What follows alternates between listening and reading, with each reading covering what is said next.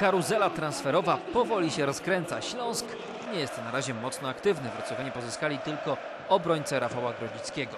Bliski podpisania umowy z mistrzem Polski jest też podobno Patejuk, pomocnik, który w poprzednim sezonie był gwiazdą Podbeskidzia Bielsko-Biała, będzie mógł przyjść do dolnośląskiego klubu na zasadzie wolnego transferu. Według nieoficjalnych informacji Patejuk był już w poniedziałek w Śląsku na badaniach lekarskich. Na giełdzie nazwisk które pojawiają się w kontekście wzmocnienia wrocławskiego klubu są także piłkarze z zagranicy, m.in. Zoltan Liptak, 27-letni środkowy obrońca w zeszłym sezonie grał w zespole UIPEST Budapeszt. Tam kończy mu się umowa, więc mistrz Polski nie musiałby za niego płacić w swojej karierze.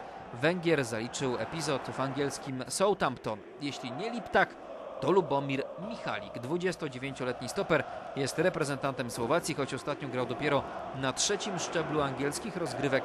Może być wzmocnieniem zespołu. Michalik także ma kartę na ręce.